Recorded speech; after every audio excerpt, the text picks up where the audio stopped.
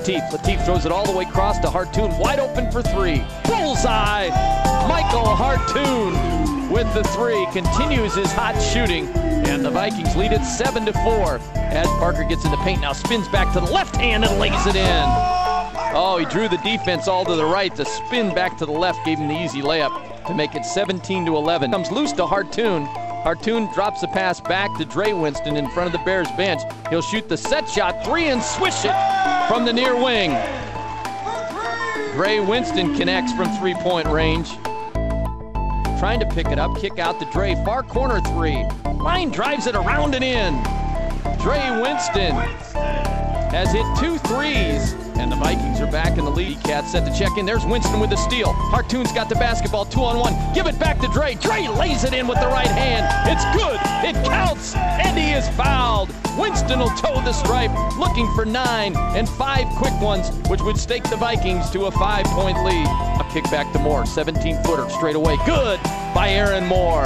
Such a good mid-range jump shooter. Dre's gonna fly to the basket, diagonally throw out front to Hartoon. Jumper is good for three. Michael Hartoon, Cougar to Cougar. Moore fakes the pass, now drives hard to the paint, gets all the way to the basket and scores.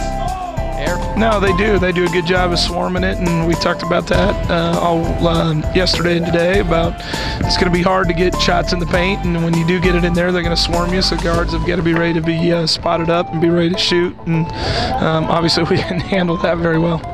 With a running rebound, three on two out of the backcourt. Throws it on the wing to Latif. Latif to the trailer Moore. Moore splits the defense, finds himself alone at the basket, and lays it in. Moore's got a dozen between the circles. Comes to the left with the dribble. Drop back pass to Moore. Moore with a three ball in the air. Yes! Aaron Moore has hit his first three pointer of the year. And he's got 15. I post, they get it to Harvey. Quick 18 foot jumper is good from the center of the circle. Michael Harvey found the soft spot in the zone. Deep three ball, perfect by Latif McMullen. He's got nine in the game. Here's the pass. Moore's going to steal it, race back the other way, and dunk it with the right hand.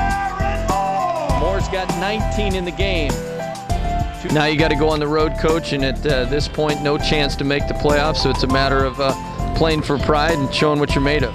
No, that's what I told them afterwards. You know, we still need to come out and practice and do the right things. And, um, you know, obviously, guys returning next year, they need to hopefully learn the lesson that, uh, you know, we're not playing hard enough. We're not competing hard enough. Uh, I'm not coaching hard enough. And everybody has to look in the mirror and everybody has to make adjustments. And it's not just, you know, one person or one thing. It's it's a whole program in, in general because I don't think anybody thought we'd be at this point right now. As Portland State loses this one by a final of 85 to 75. We're going to go ahead and wrap it up here on Viking TV and on Freedom 970 as Portland State will next play Thursday night. That'll be an early start with a 5:30 pregame and a 6:05 start at Weber State University.